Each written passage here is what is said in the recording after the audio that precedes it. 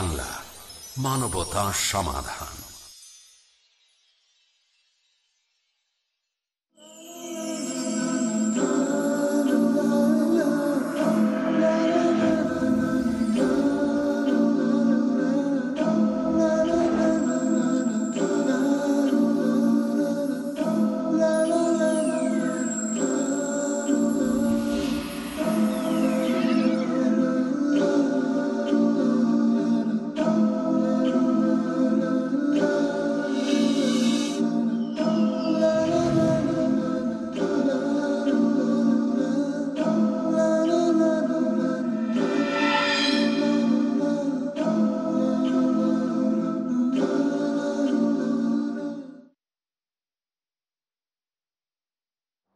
الحمد لله نحمده ونستعينه ونستغفره ونعوذ بالله من شرور أنفسنا ومن سيئات أعمالنا. من يهده الله فلا مضل له ومن يضلل فلا هادي له. وأشهد أن لا إله إلا الله وحده لا شريك له. وأشهد أن سيدنا محمدا عبده ورسوله. اللهم صل وسلم وبارك على عبدك ورسولك محمد وعلى آله وصحبه أجمعين. দর্শক মন্ডলী আসসালামু আলাইকুম রহমতুল্লাহ ওবরাকাতহু আমাদের এই ধারাবাহিক আলোচনা চলছে। ইবনে রাজাব আল হাম্বলি জামিল উলুম আল হেকাম এই কিতাব থেকে, যেখানে তিনি পঞ্চাশটি হাদিসকে, গুরুত্বপূর্ণ হাদিসগুলোকে সংকলন করে কিছু বিস্তারিত ব্যাখ্যা করেছেন।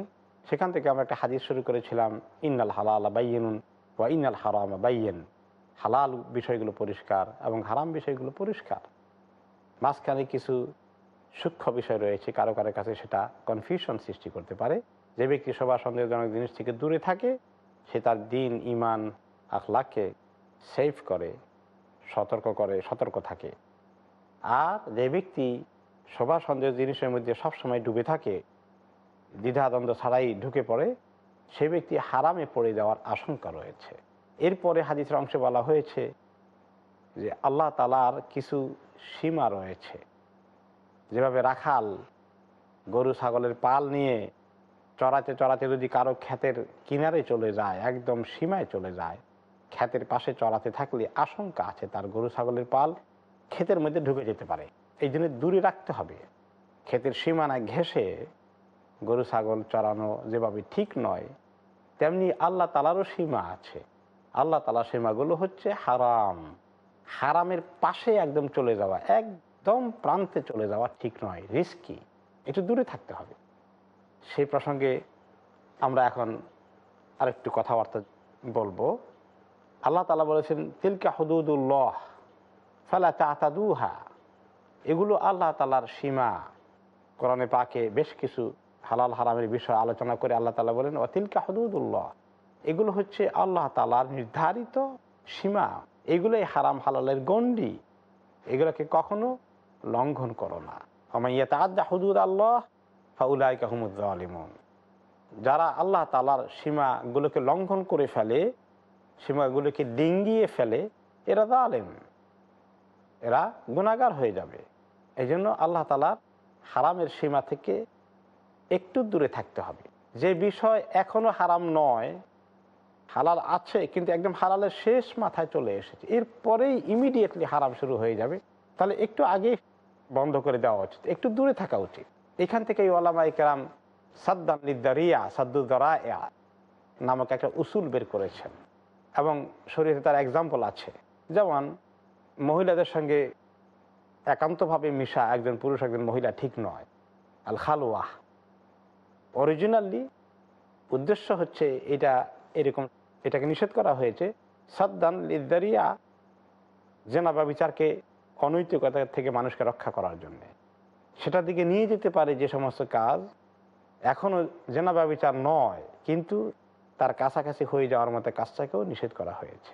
তো এইভাবে সাদ্দানলি দরিয়ার ভিতরে অনেকগুলো জিনিস আছে যে আপাতত, আপাত দৃষ্টিতে হয়তো বা হারাম নয়, কিন্তু সতর্কতামূলক একটু দূরে থাকতে হবে।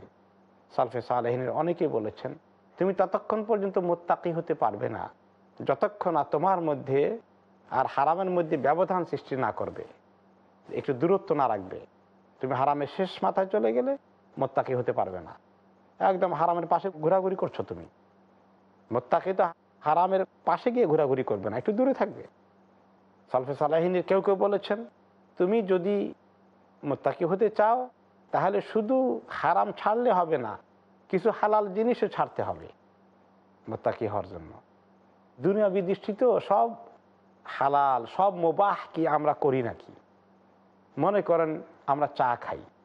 কেউ সারাদিনে এক কাপ খান, কেউ দুই কাপ, কেউ তিন কাপ, কেউ পাঁচ কাপ, কেউ দশ কাপও খেয়ে ফেলেন হয়তো বা বেশি খাওয়া তো ভালো না। এখন কেউ যদি বিশ কাপ চা খান, দিনের মধ্যে তো অনেক বেশি হয়ে গেল। এখন একটু কয়েক কাপ বেশি খেলো, যে তিন কাপের বেশি হারাম হবে, না চার কাপের বেশি হারাম হবে, না পাঁচ কাপের বেশি খেলে হারাম হবে, এই হারাম ফতুয়া দেওয়া তো মুশকিল আছে। এটা এমন একটা বিষয়। কিন্তু আমরা স্বাস্থ্যগত কারণ, বিভিন্ন কারণে বুঝি যে এত বেশি চা খাওয়া ভালো না, একটু দূরে থাকা ভালো, তাহলে কম খাই। এইভাবে একটা এক্সাম্পল যে কতটুকুন বেশি খেলে ডাক্তার আপনাকে বলবে, কতটুকুন বেশি খেলে চা আপনার জন্য ক্ষতি হবে? এরকম সমস্ত ডাক্তার ঐক্যবদ্ধ হয়ে লিখিত দেওয়া, একটা সিদ্ধান্ত আকারে দিয়ে দেওয়া যে পাঁচ কাপের বেশি খেলে ক্ষতি হবে, তিন কাপের বেশি খেলে ক্ষতি হবে, দুই কাপের বেশি খেলে ক্ষতি হবে বা দশ কাপের বেশি খেলে ক্ষতি হবে, এর আগ পর্যন্ত ঠিক আছে। এরকম বলা তো মুশকিল। কিন্তু একজন ব্যক্তিকে সব সময় হারাম থেকে নিরাপদ দূরত্ব বজায় রাখতে হবে। একটু দূরে, কাছাকাছি নয়। সেই জন্যই সদ্দুদ্দারিয়া এই ফর্মুলাটাকে ওলামাই কেরাম কোরআন এবং হাদিসের স্পিরিট থেকে নিয়ে এসেছেন। অনেক গবেষণা করে এই সদ্দুদ্দারা এর বিষয়টাকে একটা ওসুলের মধ্যে অ্যাড করেছেন এবং এটাকে গুরুত্ব দিয়েছেন। যদিও কেউ কেউ মনে করেন যে এটা শরীয়তকে কঠিন করে ফেলা হয়েছে। আখেরি জামানায় কেউ কেউ এরকম মন্তব্য করেন। কিন্তু সালফে সালহাইন এটাকে অ্যাকসেপ্ট করেছেন এবং এর পিছনে দলিল রয়েছে কোরআন এবং হাদিস থেকে। একদম হালালের সীমায় যখন শেষ প্রান্তে মানুষ চলে আসে, তখন একটা ডেঞ্জারাস পিরিয়ড থাকে এটা। ভেরি ডেঞ্জারাস জোন হয়ে যায় এটা। এই এক কদম পরেই হারাম আছে। এই জন্য একটু দূরে ছেড়ে দেওয়া ভালো। যেমন এক্সাম্পল দেওয়া যায়, সাহাবি আব্দুল ইবিন মাসউদ রাজি আল্লাহ আনহু। তিনি মদিনার শহরে যখন দেখতেন বাচ্চারা দফ নিয়ে খেলাধুলা করছে। দফ আপনারা চেনেন। এটা হচ্ছে এক ধরনের বাদ্যযন্ত্র তবলার মতো। এক সাইড আছে, দুই সাইড নাই। দুই সাইড থাকলে ঢোল বলে আর এক সাইড থাকলে কি বলে? আল্লাহ ভালো জানেন, এত তো নামটাম আমাদের পক্ষে জানা মুশকিল। তো এক সাইডের যেটা থাকে, এটাকে আরবিতে বলা হয় দাফ। এই দাফটা এমনি নর্মালি অ্যালাউড বা ব্যবহার না করলে সাহাবেকরা মাঝে মধ্যে ইউজ করেছেন। যেমন বিয়ের সময় দফ বাজানো এবং একটু নির্মল গান পেশ করা অ্যালাউ করেছেন।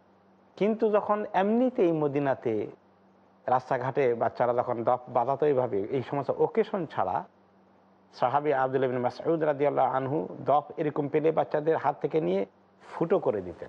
ফুটো করে দিলে তারা বাজবে না। তিনি যে ফুটো করে দিতেন, এটা একদম হারাম নয়। একেবারে হারাম নয়। কিন্তু এই জিনিসটা দফের তালে তালে চলতে চলতে এক পর্যায়ে তারা গান বাজনার দিকে ঢুকে পড়বে আর গান বাজনাকে হালাল করা শুরু করে দেবে। এই আশঙ্কা থেকে দফের মতো কিছু কিছু ক্ষেত্রে হালাল রয়েছে যেহেতু, হালাল জিনিসটাকে তিনি এভাবে ওপেনলি এক্সারসাইজ করতে অ্যালাউ করেননি। শুধু তিনি না, সব সাহাবাদের এরকমই স্পিরিট ছিল। এখন সেখান থেকেই আমাদের মুসলিম উম্মার মধ্যে দেখা যায়, তারা কিছু যখন গান গজল, ইসলামিক এরকম কিছু গেয়েছেন, নাসিদ গেয়েছেন, সাধারণত বাজনাগুলোকে অ্যাভয়েড করেছেন। কিন্তু পরে যখন আস্তে আস্তে সবসময় দফকে অ্যাড করা হলো প্রথম দিকে, খুব তাল আসা শুরু হয়ে গেল। এখন দফের তালে আর কুলায় না, এখন অন্যগুলো জোগাড় করা শুরু হয়ে গেল। হতে হতে এখন ফতুয়া চলে আসতেছে যে গান, বাজনা, এগুলা ঠিক আছে, হালাল, এগুলোর ক্ষেত্রে এমন কোনো হাদিস নাই যেগুলো মানা করা যাবে। অথচ সহি বোখারিতে সহি হাদিস রয়েছে। এবং রসুল্লাহ সাল্লাম বলেছেন, আমার উম্মতের মধ্যে এমন লোক আসবে যারা গান বাজনাকে হালাল করে ছাড়বে। হাদিসটি সাহিয়া এবং কি কোরআনে পাকে পর্যন্ত আল্লাহ তালা এই ব্যাপারে আয়াতে উল্লেখ করেছেন? অমিনান্নাস মাইয়াস্তারি লাহওয়াল হাদিস আনসাবিল্লাহ মানুষের মধ্যে এমন কিছু লোক পাওয়া যাবে যারা বাজে কথা কেনা বেচা করবে, এগুলো চর্চা করবে, আর এগুলোর মাধ্যমে মানুষকে গুমরাহ করে ফেলবে। গান বাজা গুমরাহ হওয়ার জন্য এসেছে। এগুলো কাজই হচ্ছে মানুষকে গুমরাহ করা, মানুষকে গাফেল করে দেওয়া। তাহলে সাদ্দুদ্দারায় অত্যন্ত জরুরি জিনিস।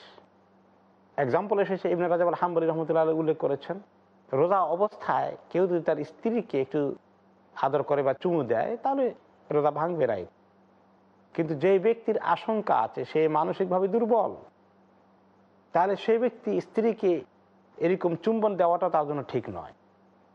কারণ আশঙ্কা আছে, এর চেয়ে অগ্রসর হয়ে যেতে পারে সে, যেটা হারাম হয়ে যাবে। এইভাবে আমাদের জীবনে অনেকগুলো বিষয় আছে। এখন কেউ মনে করেন এমন জায়গায় গেল যেখানে অন্যান্য লোকেরা খাওয়া দাওয়া করছে, বিশেষ করে যারা নন মুসলিম কান্ট্রিতে থাকেন, এমন পার্টিতে গেলেও খাওয়া দাওয়া করছে, সেখানে তারা মদ পরিবেশন করছে, আবার সফট ড্রিঙ্কও আছে, হালাল ড্রিঙ্কও আছে। এখন একজন সেখানে গেল যেতে যেতে সে যদি এখন বলে যে আমি তো ওখানে মদ খাব না, আমি জাস্ট একটু পেপসি খাব, আমি একটু পানি খাব, আমি কিছু খাওয়া দাওয়া করে চলে আসব। তার পক্ষে ওখানে যদি যাওয়া হয় রেগুলার যেতে থাকে, সংকোচ চলে যায়, দ্বিধাদ্বন্দ্ব উঠে যায়, তাহলে এক পর্যায়ে সেখান থেকে সে একদিন মদ খাওয়াই শুরু করে দেবে। মদ খাওয়া তো একটা মুনকার। মানরা আমিন কো মুনকারান ফালি গাইয়ের হুবিয়া দিহি মুনকার দেখলে তো সরানোর কথা ছিল। সরাতে পারল না, আস্তে আস্তে গা সওয়া হয়ে যাবে।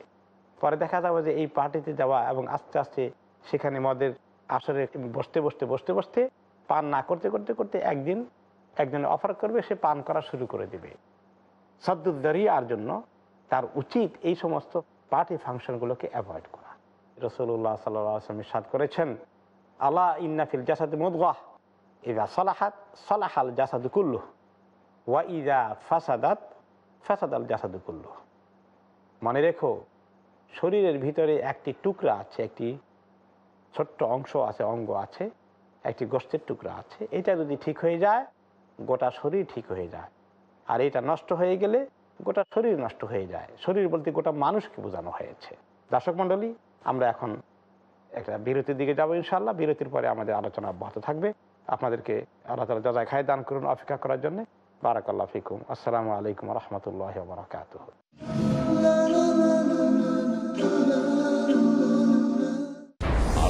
অসন্তুষ্টি। পাপকে পাপ বলে জানব। মানুষ তো আদম সন্তান পাপ হবে এটাই স্বাভাবিক। তাকে এই ব্যাপারে চিন্তিত থাকতে হবে।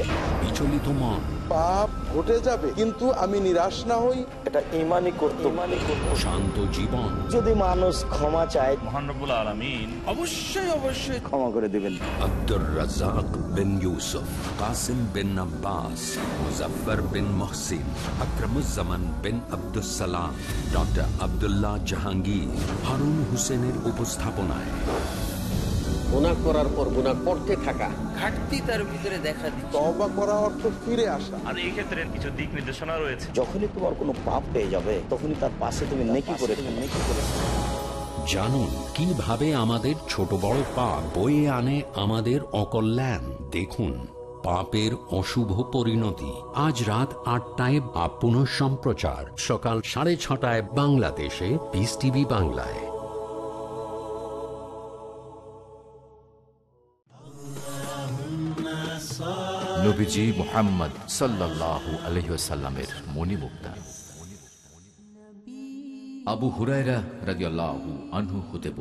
রসুল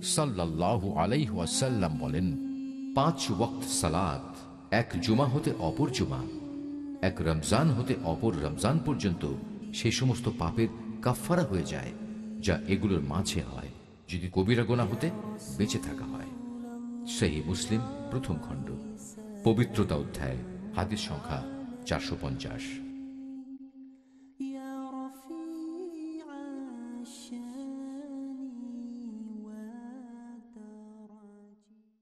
এমন ঘটনা যার মধ্যে নিহিত আছে আল্লাহর নির্দেশ। কোরআনের ঘটনা যে ঘটনা অত্যন্ত শিক্ষণীয়। ইমানকে শুদ্ধ করার জন্য তৌহিদকে প্রতিষ্ঠা করার জন্য শিরককে উচ্ছেদ করার জন্য। দাউদ আলাহিসাল্লামকে রাজত্ব দিলেন জ্ঞান দিলেন তাকে মনোনীত করলেন। তোমরা ইমান আনো যেমন তারাই মেনে নিয়েছিল। কোরআন সন্না যখন যেটা বলল সেটা মেনে নেওয়া। আল্লাহর উদ্দেশ্য আল্লাহর হুকুম মানো কিনা। হাসান জামিল মুখলিসুর রহমান মাদানী আহমদুল্লাহ বিন মোহাম্মদ দিলাবর হুসেন মুফতি কাজী মোহাম্মদ ইব্রাহিম হারুন হোসেনের উপস্থাপনায় বনি ইসরাইল তারা আল্লাহকে সচক্ষে দেখতে চেয়েছিল আল্লাহর ব্যাপারে তাদের আইডিয়াটা ঠিক ছিল না। আল্লাহর ফয়সালাকে নিতে হবে এটাই হচ্ছে মুমিনের পরিচয়। মুমিনের পরিচয়। কীভাবে মমিন আল্লাহর দয়া অর্জন করেন বোঝার জন্য দেখুন গুরুত্বপূর্ণ অনুষ্ঠান কোরআনের কাহিনী পরবর্তী অনুষ্ঠান। পিস টিভি বাংলায়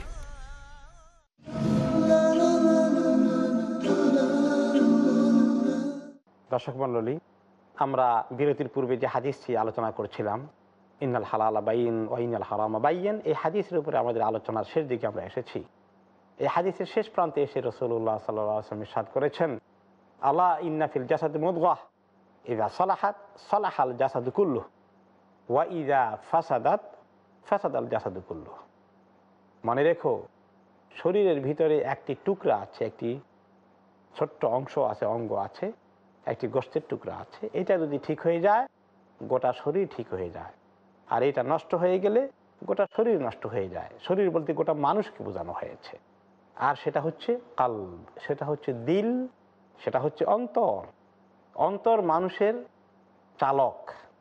সালফে সালাহ কে কে বলেছেন যে আল কালবু হচ্ছে মালিক আল আদা অঙ্গ প্রত্যঙ্গ আল আদা জবারেহের হচ্ছে প্রজা আর কাল্ব হচ্ছে রাজা। অন্তর যেদিকে চালাবে, অঙ্গ প্রত্যঙ্গগুলো সেদিকে চালিত হবে, সেদিকে ধাবিত হবে, সেদিকে চলতে থাকবে। অন্তর ঠিক হয়ে গেলে, সাফ হয়ে গেলে, সহি হয়ে গেলে, সেগুলোর মধ্যে কন্ট্রোল ইজি হয়ে যাবে। অন্তরে আল্লাহর ভয় থাকলে কথাবার্তা বলতে মানুষ সাবধান। কাউকে আঘাত দেবে না, কষ্ট করবে না। গালিগালাজ করবে না, বকাবকি করবে না। গাল বন্ধ দেবে না কাউকে। অন্তরে আল্লাহর ভয় না থাকলে মুখ দিয়ে ফরাস করে বের হয়ে যাবে এগুলো। যা তা বকাবকি শুরু করে দেবে। এই জন্য কাল অত্যন্ত জরুরি। আল্লাহ রাবুল আলমিন বলেছেন, সেদিন বানুন ইল্লামান সালিম। সেদিন এমন একটা কঠিন দিন আসবে যেদিন মানুষের মাল, দৌলত ছেলে মেয়ে, জনসম্পদ, কোনো কিছু তাকে ফায়দা দিতে পারবে না। তার কোনো কাজে আসবে না, উপকার করতে পারবে না। ওই লোকটাই ফায়দা পাবে যেই লোকটার কালটা সালিম ছিল, সুস্থ ছিল, ভালো ছিল, দূষিত হয়নি। অন্তরকে দূষণ থেকে মুক্তি রাখার কাজটা অত্যন্ত জরুরি। এই জন্য এই অন্তরের আরেকটি কথাই, কালবের আরেকটি প্রসঙ্গেই আসছে, নাফসের ব্যাপারে, কাছাকাছি। সামান্য কিছু পার্থক্য থাকলেও মূল কনসেপ্ট একই। আল্লাহ তালা এই নাফসকে তাস্কিয়া করতে বলেছেন, পবিত্র রাখতে বলেছেন, পবিত্র করতে বলেছেন, এহতেসাব করতে বলেছেন, নিজেকে মালামাত করতে বলেছেন গুণা করে ফেলে এবং নিজের আচার আচরণ ব্যবহারের প্রতি কাজ করার পরে যে ভুল হয়ে যায় সেগুলোর দিকে অঙ্গুলি নির্দেশ করে ক্রিটিসাইজ করা, নিজেকে আল্লাহর কাছে অনুতপ্ত করা তবা করতে সাহায্য করা। কালকে এই দিকে নিয়ে আসলে তাহলে তার জন্য উপায় আছে। এক পর্যায়ে মোতমাইন্নার দিকে চলে যাবে। আল্লাহ তালা তাকে ইতমিনানের সাথে মৌতের দিকে নিয়ে যাবেন। আরেকটি হাদিস রসুল্লাহ সাল্লাহ বলেছেন লাস্তাকিম ইমান আবদে হাত্তা ইয়াস্তাকিম কালবহু। মানুষের ইমানের মধ্যে ইস্তেকামাত আসবে না। ইমান দীর্ঘস্থায়ী, মজবুত হয়ে থাকবে না। ইমান সরল রাস্তার উপরে টিকে থাকবে না। যদি অন্তরটা টিকে না থাকে, অন্তরটা টিকাতে হবে আল্লাহ তালা রাস্তার উপরে। কালবকে ঠিক রাখতে হবে। এই জন্য হাদিসে এসেছে রসুল্লাহ সাল্লাহ আসলামের সাদ করেছেন অলুবুল ইবাদ বাইনে ইসবাইর রহমান। মানুষের অন্তরগুলো আল্লাহ তালা দুটো অঙ্গুলির মাঝখানে ধরা। এ কাল্লিবুহা কাইফাই আসা যেদিকে চান আল্লাহ তালা সেদিকে ঘুরান। আল্লাহ তালা ঘুরাবেন। আমার চেষ্টা লাগবে আল্লাহ কাছে চাইতে হবে আমাকে। আল্লাহ তুমি পজিটিভ লাইনে ঘুরাও। আল্লাহ ইয়া মোকাল্লেবাল কুলুব। সাব্বেত কুলুবানা আলা দিনিক। আল্লাহ তালার কাছে চাইতে হবে যে আল্লাহ, যিনি অন্তরকে ঘুরান, অন্তরকে পরিচালনা করেন, আমার অন্তরটা আপনার হাতে ধরা আছে। আপনি এটাকে সহি পথে পরিচালিত করেন।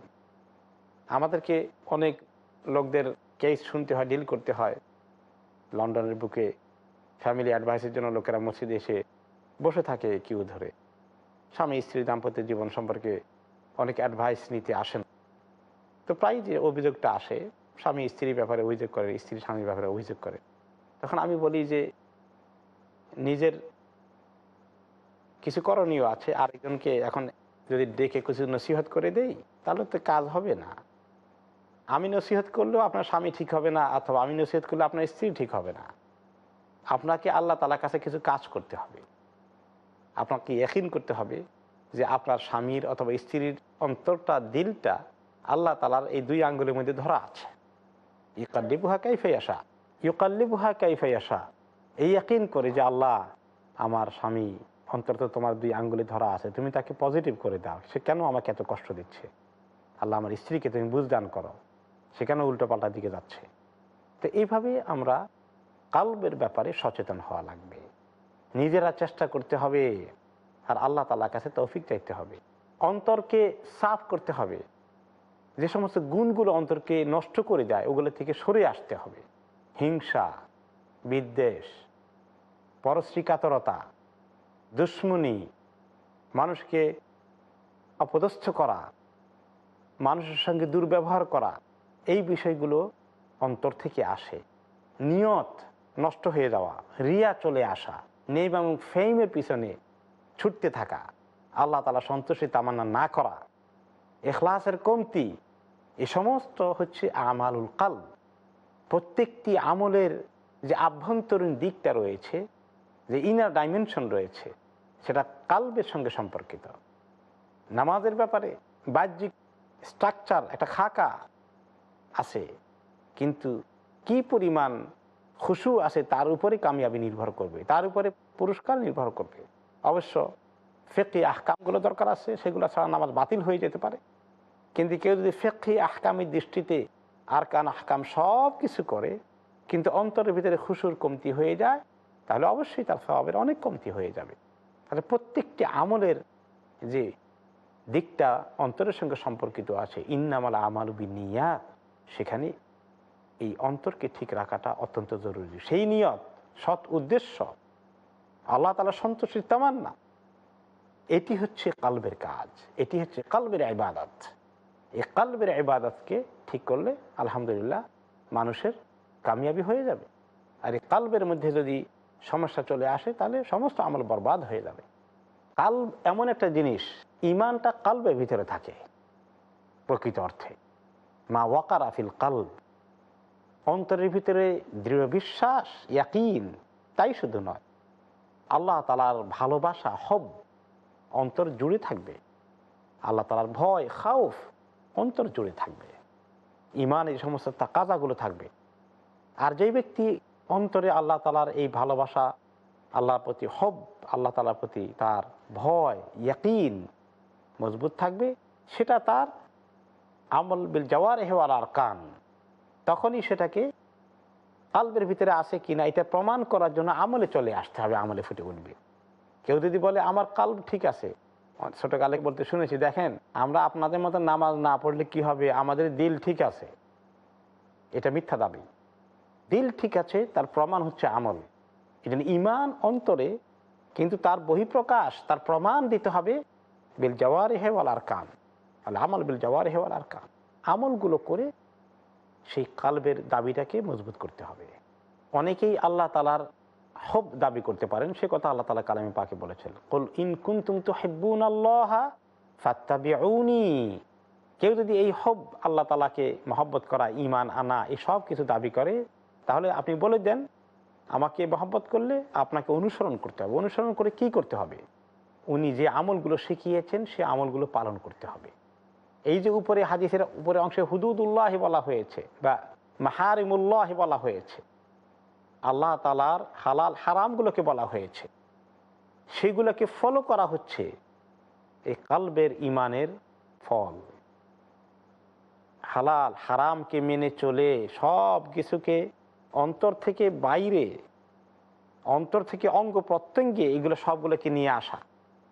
তাহলে অন্তরের ভিতরে এই এলেমের ভিত্তিতে ইয়াকিন থাকা, এই স্পিরিট থাকা, এই অনুভূতি থাকা, এই ফিলিং থাকা জজবা থাকা আর সেটাকে প্রমাণ হিসাবে দেখানোর জন্য আমল করা হালাল, হারামকে পদে পদে মেনে মেনে চলা। এটা হলো কমপ্লিট ইসলাম। এটা হলো কমপ্লিট ইমান এর ভিতরে সব চলে আসে। ইমান চলে আসে, ইসলাম চলে আসে এহসান চলে আসে। এই যে এহসানে বলা হয়েছে আন্তা আবুদুল্লাহ কানাকা তারা ফাইলাম তখন তারা ফাইন হইয়া রাখ এমনভাবে আল্লাহ তালা ইবাদত করো যেমন নাকি তুমি তাকে দেখো। তুমি তাকে না দেখলেও তিনি অবশ্যই তোমাকে দেখেন। তাহলে এই হাদিসটার ভিতরে ইমান যেটা অন্তরের বিষয়, তারপর ইসলাম যেটা আমলের বিষয়, হালাল, হারাম, বিল, তারপর বিল জওয়ার হিওয়াল আরকান, সীমা লঙ্ঘন করা শরীয়তকে মানা, কালবের মধ্যে চলে আসে আবার এহসান, যে আল্লাহ তালাকে খুশি করা ছাড়া আল্লাহ তালার ব্যাপারে এরকম ফিলিং থাকা, কোনো রিয়া না থাকা, এসব কিছু এহসানও নিয়ে আসে। তো এই হাদিসটি অত্যন্ত গুরুত্বপূর্ণ, পরিপূর্ণ ইসলামের ধারণা।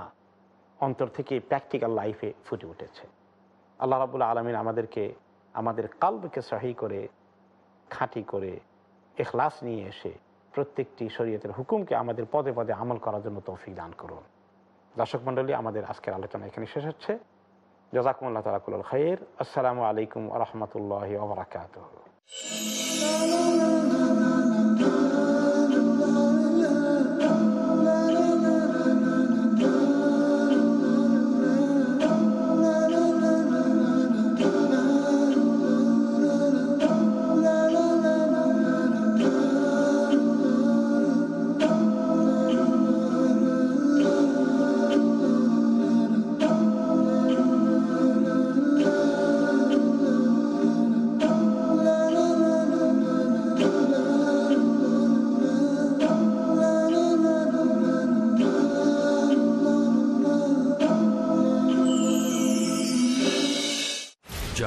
মানুষকে আখেরাত মুখী করে। আল্লাহ তালা চান মানুষ যেন আখেরাতে প্রতিযোগিতা লিপ্ত হয়ে যায়। যা পার্থিব লোভকে হ্রাস করে। বেশি বেশি পাওয়ার নেশা বেশি বেশি পাওয়ার আগ্রহ তোমাদেরকে অতি ব্যস্ত করে ফেলবে। যা দিন ও দুনিয়াবি পরীক্ষায় সফলতা দান করে। আল্লাহ তালা আমাদেরকে সম্পদ দিয়ে পরীক্ষা করেন সম্পদ নিয়ে পরীক্ষা করেন। যা আত্মসমীক্ষায় অনুপ্রাণিত করে। আমি পুরো সময় পুরো এনার্জি পুরো চিন্তা পুরো সংগ্রাম সাধনা যা কিছু করলাম কোনটা অর্জন করার জন্য জানুন কেমন করে অর্জন করা যায় আল্লাহর অনুগ্রহ অন্তরে আল্লাহ ভীতি সৃষ্টিকারী হাদিস সমূহ কাল রাত এগারোটায় পুনঃ সম্প্রচার সকাল দশটায় বাংলাদেশে পিস টিভি বাংলায়।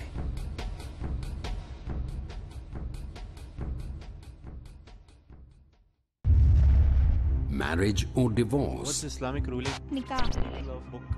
solution or problem, heaven or hell. there is a misconception. You choose.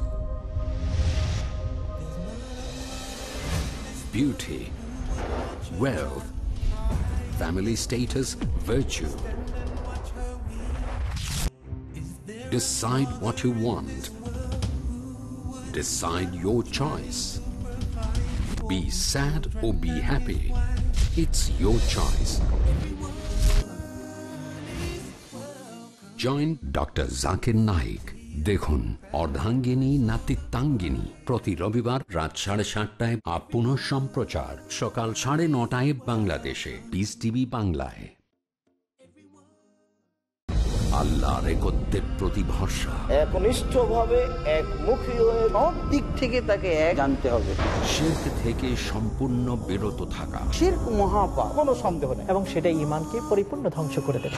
সুন্নাতের অনুসরণ। আল্লাহর নিকটে মনোনীত দিন হলো ইসলাম। ইসলামে যেগুলি সুস্পষ্ট আবাদত কোরআন বিরোধী যে কার্যক্রমে অংশগ্রহণ কেউ করবে আমরা নিশ্চিত করে জেনে রাখব তিনিও আমানতের খেয়ানত করেছেন। Hasan Jamil. Shahidullah Khan Madani doctor Hafez A B M Hazbullah Akramuzzaman bin Abdussalam Muzaffar bin Mohsin Mohammadul Hasan Abdur Razzak Jahangir আলমের উপস্থাপনায়। ইমান এবং ইসলামের মূল ভিত্তি। খবরকে করতেছে। ইসলাম ভঙ্গের কারণ। স্রষ্টা আল্লাহ কর্তা একমাত্র আল্লাহ। আর কি কি আছে মমিনের দায়িত্ব জানার জন্য দেখুন। আকিদা, কাল রাত আটটায় বা পুনঃ সম্প্রচার সকাল সাড়ে ছটায় বাংলাদেশে পিস টিভি বাংলায়।